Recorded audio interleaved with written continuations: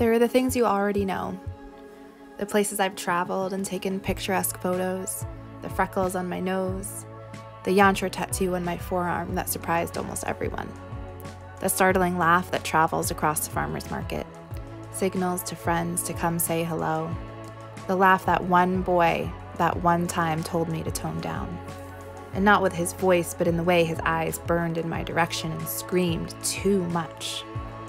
You've seen small glimpses of the intimate things the brown curve of a bare shoulder and my favorite peasant top. The way being told what to do makes the tone of my voice drop. The way calloused hands on the back of my spine make my heart stop. Maybe even that small stash of tobacco for the days that I can't make my mind stop. You've seen it all through my filter of too much. But what if I didn't hide that small child inside who cries infinite tears until her eyes run dry? That bitch hurling stones and words like jeweled daggers in a red dress.